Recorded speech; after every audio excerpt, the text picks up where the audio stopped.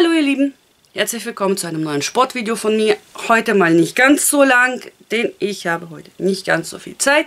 Aber ein paar Sachen zeige ich euch, die ich letztes Mal nicht gezeigt habe. Also wer Lust hat, hat umziehen, Wasser holen. Vielleicht wer welches hat, dann wäre so ein Band nicht schlecht. Ja, wir haben heute, ich habe auf jeden Fall heute vor, ein paar Übungen mit dem Band zu machen. Und ansonsten, ja, viel Spaß. Ich habe wieder keine Musik, wird hinterher beim Videoschneiden mit Musik unterlegt. Aber ich denke, das ist auch in Ordnung so. Also ich bin heute in meinem chaotischen Arbeitszimmer, denn äh, Schatzel sitzt im Wohnzimmer äh, auf dem Sofa. Da ist es einfach am bequemsten und ich dachte, für so eine kurze Sporteinheit schmeiße ich ihn heute nicht raus. Dafür war sein Wintersport äh, im Wohnzimmer weiter gucken. Ja, aufwärmen ist äh, das Übliche, ne? also auf jeden Fall, oh, ich weiß gar nicht, wie ich mein, äh, meine Kamera einstellen soll. Bewegen. Erstmal ein bisschen marschieren und dann die Arme gut mitnehmen. Nur damit man ein bisschen seinen Puls hochtreibt. Wer mag, kann natürlich auch laufen. Ich bin noch nicht ganz so weit. Laufen ist noch nicht so meins. Wegen Gelenke und eben auch Gewicht. Aber erstmal marschieren. Und dann, ich mache mal die Kamera auf die Füße einmal. Ein bisschen weiter runter. Machen wir mal folgende Übung. Nach vorne, also V-Schritt. Und zurück zusammen. Auf und zu. Und auf und zu. Und ein bisschen in die Knie gehen und die Arme mitnehmen. Erstmal mit dem rechten Fuß anfangen.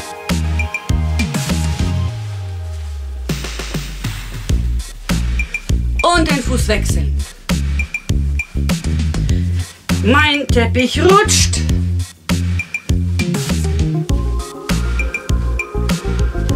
Und wir ändern mal die Arme. Wir machen wieder mit dem rechten Fuß nach vorne, auf und zu. Auf und zu. Auf und zu. Auf und zu. Und auf und zu. Und wechseln.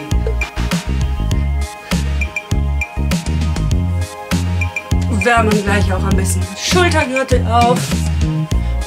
Und wieder marschieren. Und den Teppich einmal äh, zurechtrutschen. Ja, und jetzt machen wir wieder den Schritt zur Seite. Seite und dran. Seite und ran. Und wir nehmen die Schultern mit.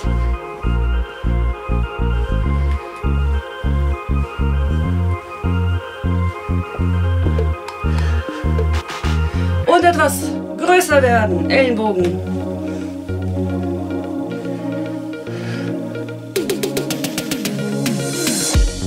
Und den ganzen Arm. Hier muss ich ein bisschen aufpassen, da hängt eine Lampe.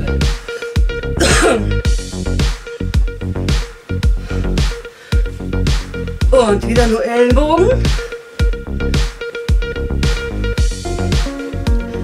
Und nur die Schultern.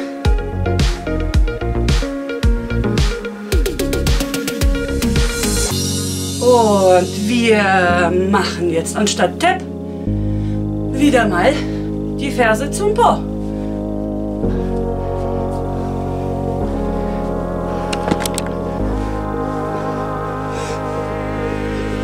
Und wer mag, kann dabei tatsächlich auch mal nach vorne und zurück gehen. Und vor, vor, vor, vor. Und zurück nehmen wir mal das Knie hoch. Und vor, vor, vor, vor. Und zurück.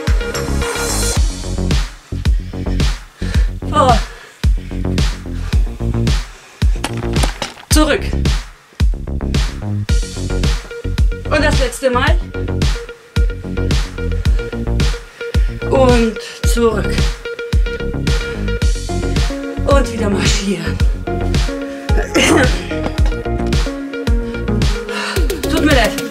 Ich muss heute die Kamera, weil so weit weg kann ich dich hier nicht wegstellen, immer hoch und runter machen. So, wir bleiben stehen, die Füße ein bisschen auseinander und tief einatmen und ausatmen. Nochmal. Und wieder aus. Und nochmal.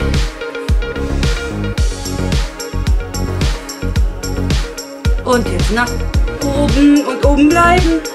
Und ziehen. Eine Seite und die andere. Und noch einmal.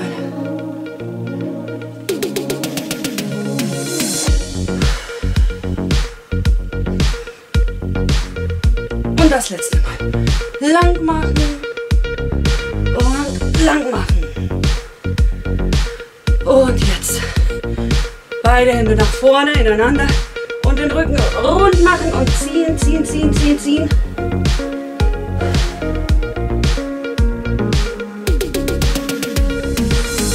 Dann nach hinten, kann.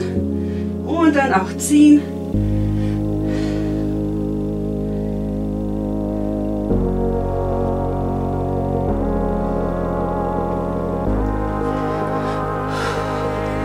Arm auseinander und dann nach rechts und nach links. Nur den Oberkörper einmal ziehen.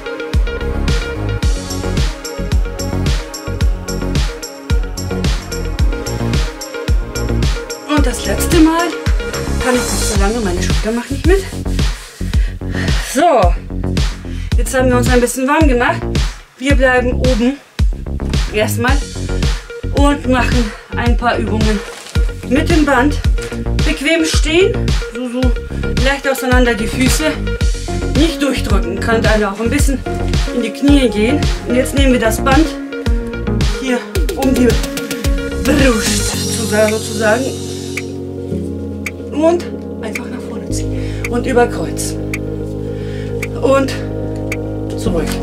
Und das Wichtigste ist, Handgelenk nicht so, sondern bleibt gerade. Das ist wichtig. Nicht abknicken. Und einmal der eine Arm oben, der andere oben und so im Wechsel. Schön langsam, nicht zu schnell. Und das Atmen nicht vergessen. Ich kann selber nicht so lange bis jetzt die Übungen halten, deswegen vier, fünf Mal für den Anfang sind auch vollkommen in Ordnung. Genauso wie wir machen jetzt einen Arm unten, einmal oben und dann auch Ellenbogen so und Handgelenk gerade und auseinanderziehen. Einfach nur auseinanderziehen. Atmen nicht vergessen.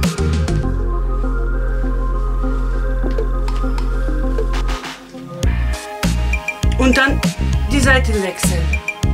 Der andere, der andere Arm geht hoch. Andere, der, also. Habt schon verstanden, ne?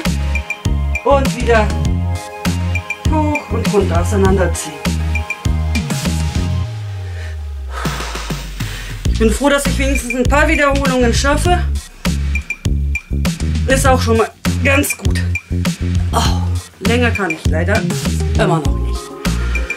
Ja, und dann noch eine Übung, auch für die Brustmuskeln, für die Schultern, Arme nach vorne.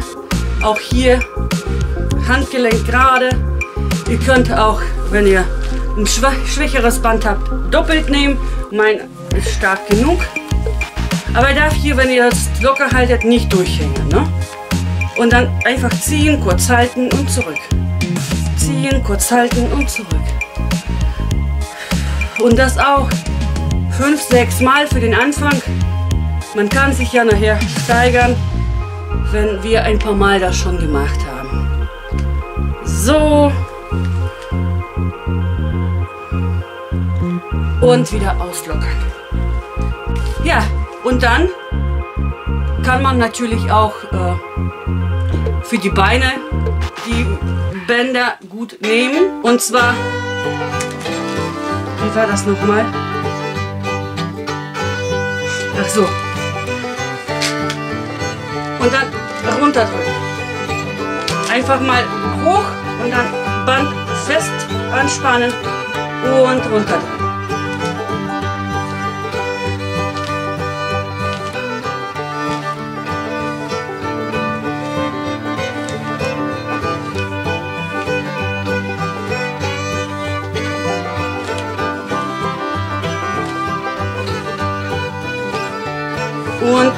Wechseln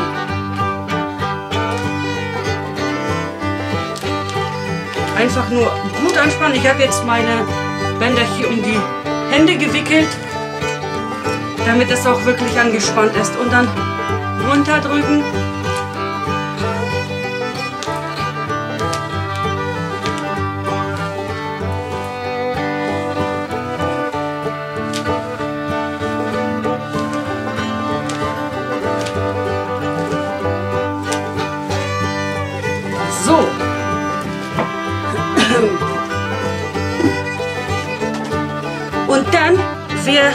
Bänder hat, nimmt so eins. Oder ihr knotet dieses Band ein bisschen zusammen.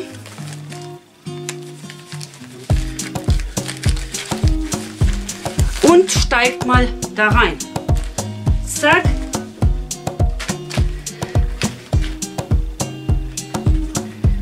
Bleibt mal so stehen und dann einfach mal ein Bein zur Seite. Nicht wegkippen, nicht zur Seite kippen. Ne? Einfach nur das Bein. Muss auch nicht zu hoch sein, sondern nur ein bisschen. Dann trainiert ihr den Seite, die Seite hier vom Oberschenkel.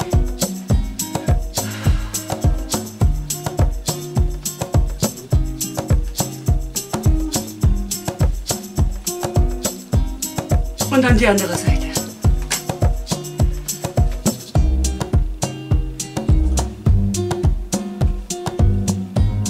Gegenhalten, Bauch anspannen, damit er nicht wegkippt. So, und das kann man auch für den Inneren machen, Oberschenkel, indem ihr auf, die eine, auf das eine Ende von diesem zugeknoteten Band euch drauf stellt, hier die Ferse nach außen drehen und dann nur hoch. Hoch. Dann trainiert ihr den Innenschenkel.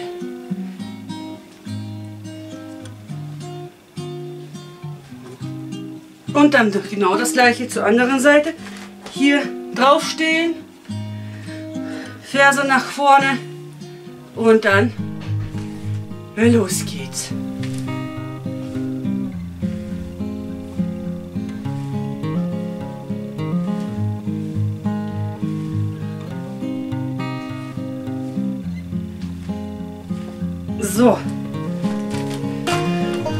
Wieder mal auseinanderknoten. Das brauchen wir gleich nämlich unten.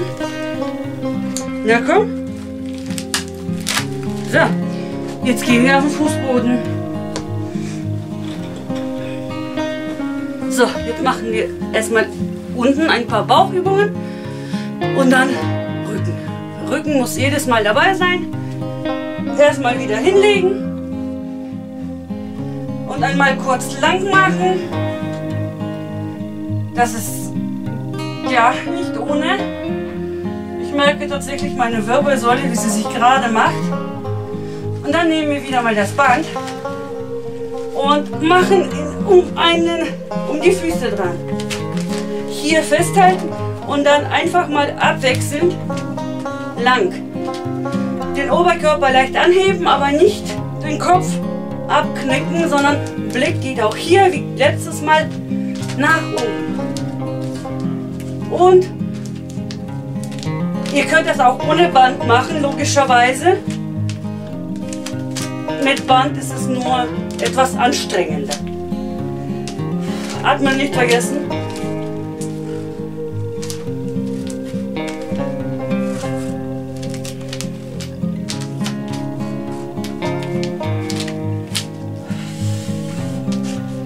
Und das letzte Mal.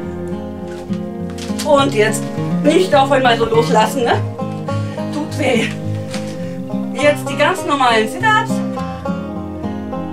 Hände hinterm Kopf und dann wieder auch hier Platz zwischen Kinn und Brust. Nach oben gucken und los geht's. Atmen nicht vergessen. Ellenbogen gucken nach außen.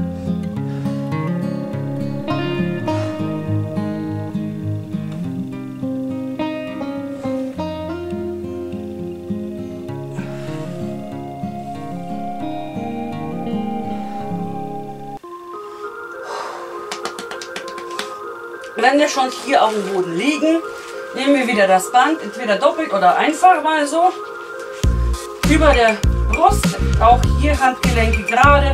Und ziehen. Zu einem U und wieder hoch.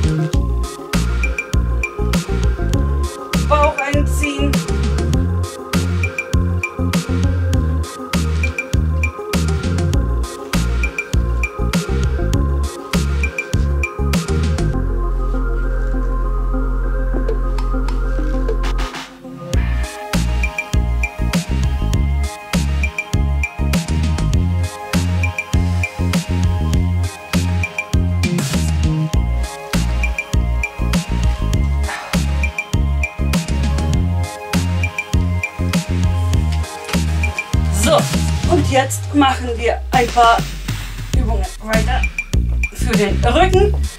Füße aufstellen, Kiste hoch, Vorbanken anspannen.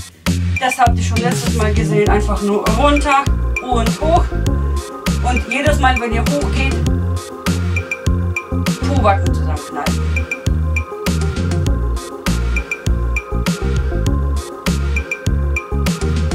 Wer will, kann sich was Schweres noch irgendwie, so was weiß ich, ein, zwei Kilo diese äh, Gewichtsmanschetten auf den Bauch legen.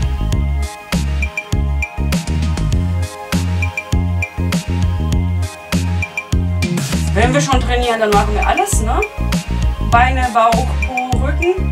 Jetzt oben bleiben und halten. Wer mag, kann einen Fuß dazu nehmen, also ein Bein lang machen. Kurz halten, dann die andere Seite.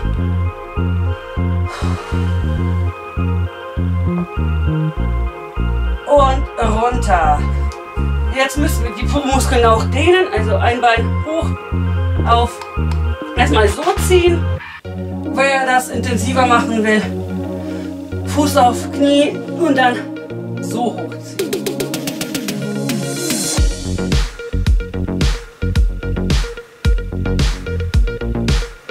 Und dann die Seite wechseln. Jo.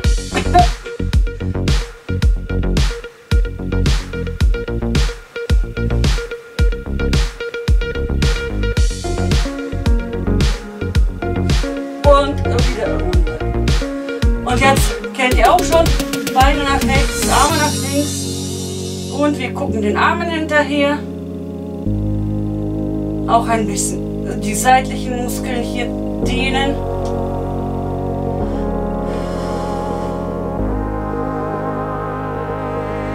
Ruhig tief ein- und ausatmen.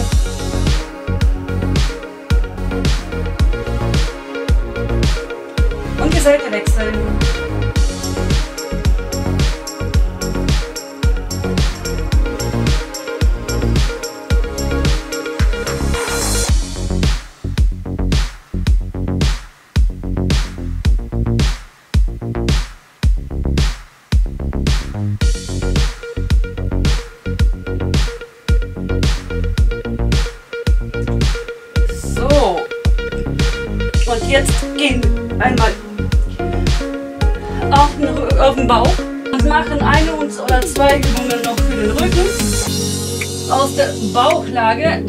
Aber schon.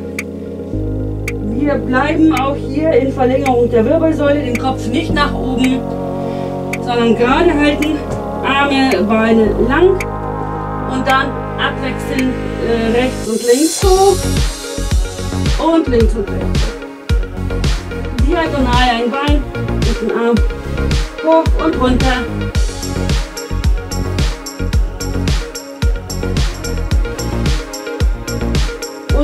Oben halten.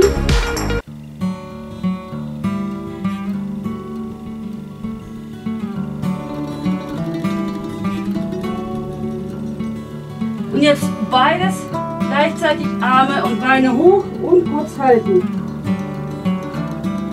Und wieder runter. Und dann nochmal. Und runter. Und noch einmal.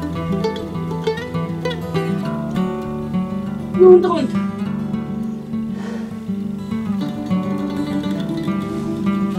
Jetzt kommen wir in den Vierfüßlerstand und machen uns das mal ganz, ganz klein. Auf die Fersen setzen, Arme lang und klein machen.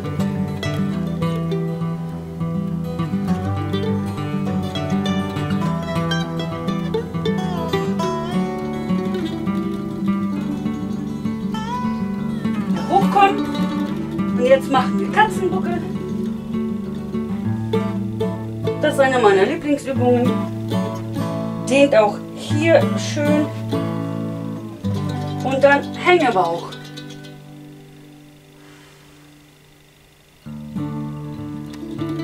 Auch hier den Kopf nicht den Nacken, sondern gerade.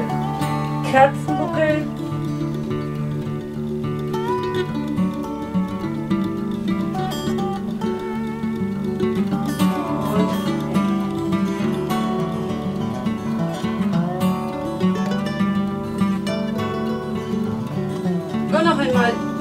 Katzenbuckel.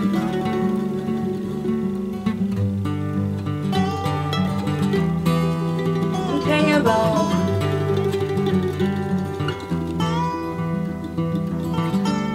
Das ist auch gut, wenn man hier den Bauch hängen lässt, dehnt das auch vorne ein bisschen.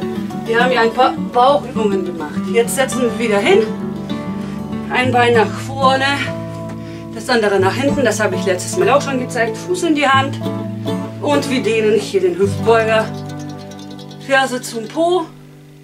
Und ein bisschen halten den vorderen Oberschenkel, den wir damit auch noch.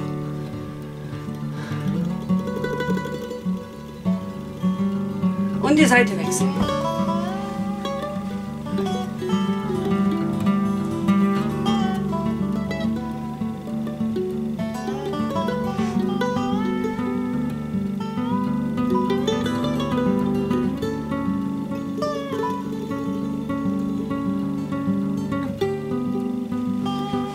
So, und jetzt Fuß an Fuß und die Beine mit den Ellenbogen oder mit den Händen, am besten mache ich das immer mit den Ellenbogen, versuchen auseinander zu drücken, also die Knie weiter runter. Damit dehnen wir die Innenschenkel und auch den Hüftbeuger. Wer kann oder mag, kann auch ein bisschen nach vorne kommen. So, und dann fassen, machen wir die Beine lang, fassen die Fußspitzen an und ziehen sie ein bisschen zu uns, damit hier hinten die Dehnung entsteht.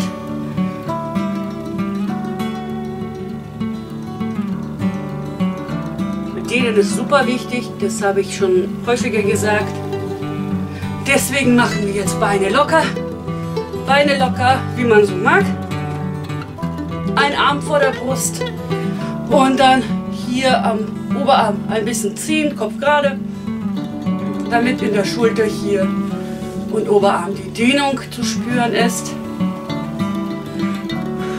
Atmen nicht vergessen. Und dann wechseln.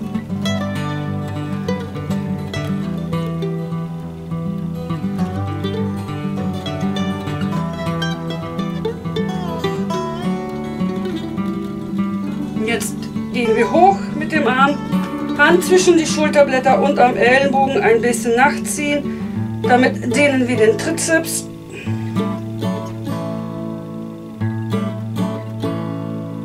Und wechseln.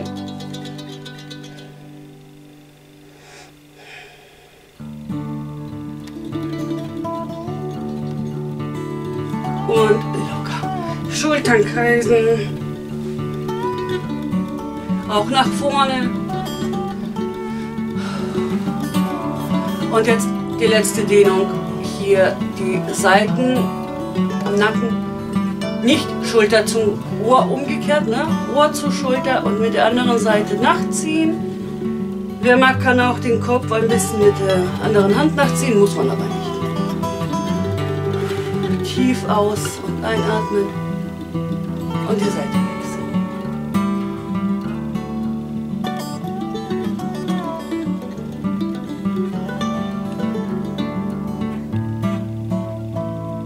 Die Schultern noch einmal kreisen, tief Luft holen und ausatmen.